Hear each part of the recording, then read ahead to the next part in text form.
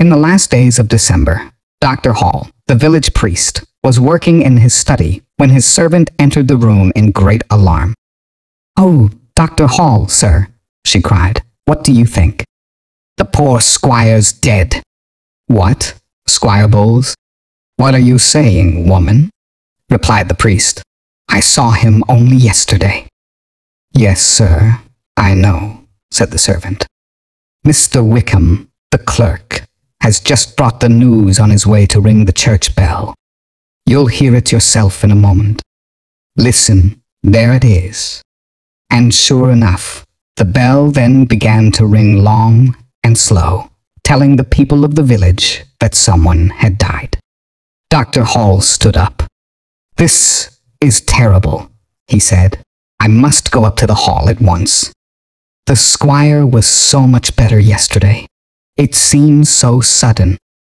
Yes, sir, agreed the servant. Mr. Wickham said that the poor squire was taken ill very suddenly with a terrible pain. He died very quickly, and Wickham said they want him buried quickly too. Yes, yes. Well, I must ask Mrs. Bowles herself, or Mr. Joseph. Bring me my coat and hat, please. Oh, and tell Mr. Wickham that I would like to see him when he has finished ringing the bell. And he hurried off to the hall. When he returned an hour later, he found the clerk waiting for him. There's a lot of work for you to do, Wickham, he said, and not much time to do it. Yes, sir, said Wickham. You'll want the family tomb opened, of course. No, no, not at all, replied Dr. Hall. The poor squire said before he died that he did not want to be buried in the family tomb. It is to be an earth grave in the churchyard. Excuse me, sir, said Wickham, very surprised. Do I understand you right? No tomb, you said, and just an earth grave? The poor squire was too ill to know what he was saying, surely, said Dr. Hall. But Mr. Joseph tells me that his father, or I should say his stepfather, made his wishes very clear when he was in good health. Clean earth and open air, you know. Of course, the squire had some strange ideas, though he never told me of this one. And there's another thing, Wickham. No coffin. Oh dear, said Wickham. There'll be some talk about that. And I know that old Mr. Wright has some lovely wood for the squire's coffin. He's kept it for him for years. Well, said Dr. Hall, those are the squire's wishes, so I'm told. So that's what we must do. You must get the grave dug and everything ready by 10-0 tomorrow night. Tell Wright that we shall need some lights. Very well, sir. If those are the orders, I must do my best, said Wickham. Shall I send the women from the village to prepare the body? No, Wickham, that was not mentioned, said the priest. No doubt, Mr. Joseph will send for them if he wants them. You have enough work to do without that. Good night, Wickham. He paused. I was just writing out the year's burials in the church records. I didn't think that I'd have to add Squire Bowles's name to them. The squire's burial took place as planned. All the villagers and a few neighbors were present, and the squire's stepson, Joseph, walked behind the body as it was carried to the churchyard. In those days, nobody expected the squire's wife to come to the burial. The squire had no family except his wife and stepson, and he had left everything to his wife. But what was everything? The land, house, furniture, pictures, and silver were all there, but no money was found.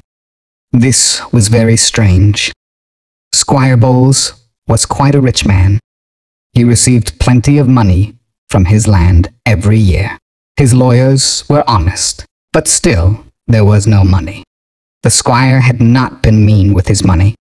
His wife had all she needed, he sent Joseph to school and university, and he lived well.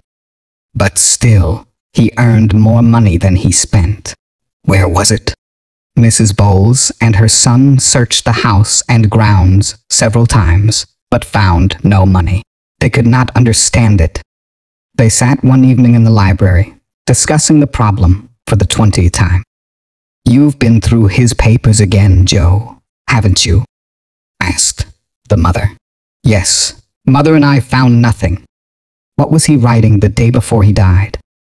Do you know? And why was he always writing to Mr. Fowler in Gloucester? You know, he had some strange ideas about what happens to a person's soul when he dies. He was writing to Mr. Fowler about it, but he didn't finish the letter. Here, I'll read it to you. He fetched some papers from the squire's writing table and began to read. My dear friend, you will be interested to hear about my latest studies, though I am not sure how accurate they are. One writer says that for a time after death, a man's soul stays close to the places he knew during life. So close, in fact, that he can be called to speak to the living. Indeed, he must come if he is called with the right words, and these words are given in an experiment in Dr. Moore's book, which I have copied out for you.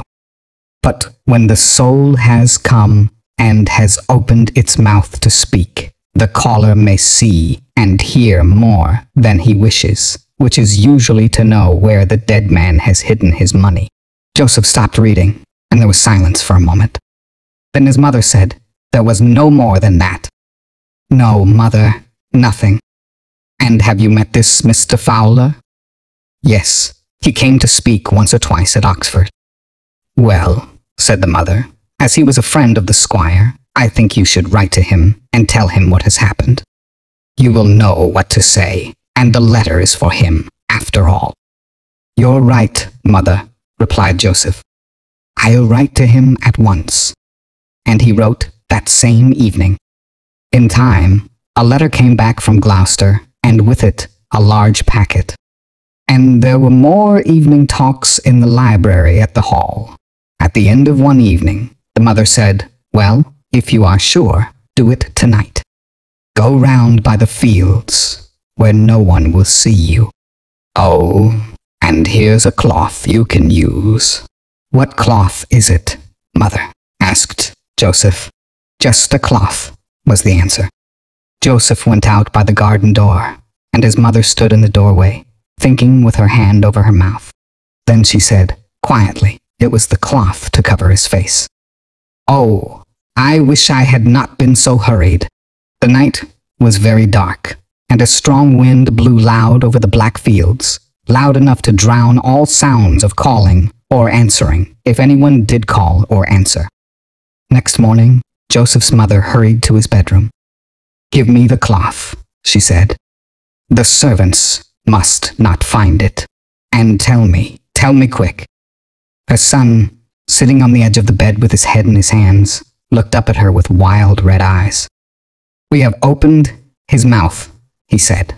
Why? Oh, why, mother, did you leave his face uncovered? You know how hurried I was that day. She replied, I had no time. But do you mean that you have seen it, Joseph? He hid his face in his hands. Yes, mother, and he said you would see it too. His mother gave an awful cry and caught hold of the bedstead. He's angry, Joseph went on. He was waiting for me to call him, I'm sure. I had only just finished saying the words when I heard him, like a dog growling under the earth. He jumped to his feet and walked up and down the room. And now he's free. What can we do? I cannot meet him again. I cannot take the drink he drank and go where he is, and I'm afraid to lie here another night. Oh, why did you do it, mother? We had enough as it was. Be quiet, said his mother through dry lips. It was you as much as I. But why spend time talking? Listen to me. It's only six, zero. Yarmouth's not far, and we've enough money to cross the sea. Things like him can't follow us over water. We'll take the night boat to Holland. You see to the horses while I pack our bags. Joseph stared at her. What will people say here? You must tell the priest that we've learned of some of the squire's money in Amsterdam, and we must go to collect it. Go, go, or if you're not brave enough to do that, lie here and wait for him again tonight. Joseph trembled and left the room. That evening, after dark, a boatman entered an inn at Yarmouth, where a man and a woman were waiting with their bags on the floor beside them. Are you ready, sir and madam? he asked. We sail in less than an hour. My other passenger is waiting by the boat. Is this all your luggage? He picked up the bags. Yes, we are traveling light, said Joseph. Did you say you have other passengers for Holland? Just one, replied the boatman. And he seems to travel even lighter than you do. You know him? asked Mrs. Bowles. She put her hand on her son's arm, and they both paused in the doorway. No, said the boatman. He keeps his face hidden, but I'd know him again by his voice. He's got a strange way of speaking, like a dog growling. But you'll find that he knows you. Go and fetch them out, he said to me, and I'll wait for them here. And sure enough, he's coming this way now. In those days, women who poisoned their husbands were burnt to death. The records for a certain year at Norwich tell of a woman who was punished in this way and whose son was hanged afterward. No one had accused them of their crime, but they told the priest of their village what they had done. The name of the village must remain secret because people say there is money still hidden there. Dr. Moore's Book of Experiments is now in the University Library at Cambridge, and on page 144, this is written, This experiment has often proved true. To find out gold hidden in the ground, robbery, murder, or any other thing, go to the grave of a dead man, call his name three times, and say, I call on you to leave the darkness and to come to me this night and tell me truly where the gold lies hidden.